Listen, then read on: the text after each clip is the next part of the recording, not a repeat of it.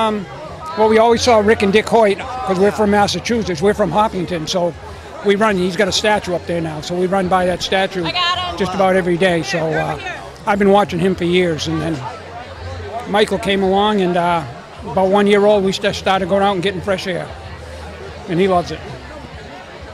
He makes me get out there, even when it's too cold or rainy or whatever. But yeah, we've seen it, heard about it many times, but we didn't, never thought we'd run in it.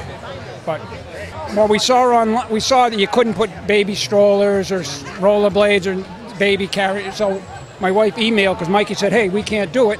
So she, hey, just just tell him, yeah, we can't do it. And they said, "No, come on down, we'll take you." It was like we got kind of roped into it.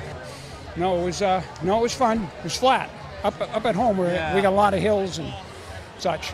A lot of people cheered. About half cheered for Mikey and half cheered for the Patriots. So it was about half and half. And Blues.